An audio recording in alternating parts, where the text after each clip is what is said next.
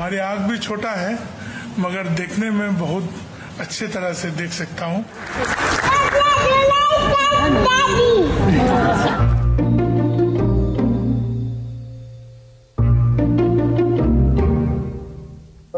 Thank are